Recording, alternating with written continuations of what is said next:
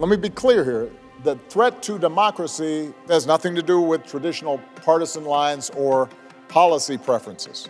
What's being challenged are the foundational principles of democracy itself. So that's the reason for this forum. We thought it was time for us to sharpen our focus on what's happening to democracy today. We are here in New York City, joined by folks from around the world, young leaders who have not only identified threats to the democracy, but more importantly, come up with solutions to help strengthen those democracies.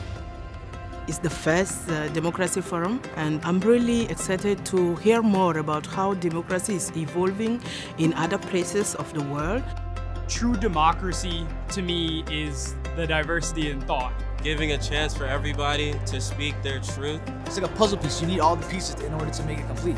We need to develop understandings around democracy at a young age. We need our young men to have access to forums like this, to people like this, not only on the stage, but off the stage, to really make change in their own lives, in their own communities. A common thread is how do we get people more engaged and more involved in the decisions and forces that are shaping their lives? How do you make democratic values and forces work? I'm really confident, I guess, as humans that we can work together to solve climate change. But I guess my fear is that it's going to take us too long.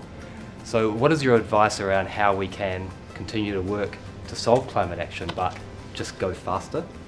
Well, that's the $24,000 question. the most important thing is not to succumb to hopelessness.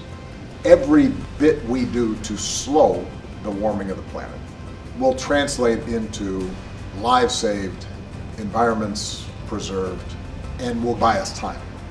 We thought it was important at a time when a lot of values are under assault or being questioned to try to select a few topics for this inaugural Democracy Forum that hopefully will help inform the day-to-day work that a lot of our leaders are doing. The key for me has been creating the opportunities for people to get to know each other. It's human relationships that so often get people into hate movements. And it's human relationships that I know can get people out. Misinformation, disinformation, this didn't start with the internet, right? This is a, a pattern and a playbook that predates that. Covering truth is not partisan. I'm asking that we be more self critical. If you want to have a multiracial democracy, people need to feel that their work has dignity and they have opportunity economically. This should be the path forward, making people feel that whatever we're having now is the responsibility of everyone. I think one of the most incredible opportunities at events like this is the people that you talk to, and I think that's where ideas really grow. It was like really touching to hear everything that like you had to say. You know, on the surface we're very, very different, but at the end of the day, like we want to help people. I think it's really great to have that support system if people you just met because we're having a shared experience. The good news is we're just scratching the surface of what this next generation is capable of.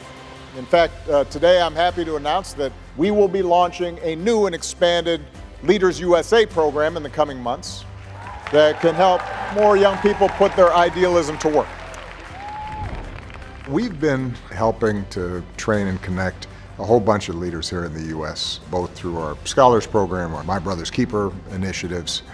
What we haven't done as systematically is get people a way in which they can come together and support their various initiatives across sectors. And given how successful the programs we've initiated in other places have been, we thought let's make sure that we're giving as many opportunities as possible to young leaders here in the U.S. as well who are eager to bring about change. Uh, so we're really excited about Leaders USA. The Leaders Program is a life-changing opportunity. I've been able to connect with people from all around the world. If you're looking for an opportunity to expand your horizon, it's important that you participate in this leadership journey. None of this will be easy. Renewing our democratic culture will take decades and not years. And that is why the ideas and insights of a new generation of leaders will be the ones that carry democracy's torch into the future.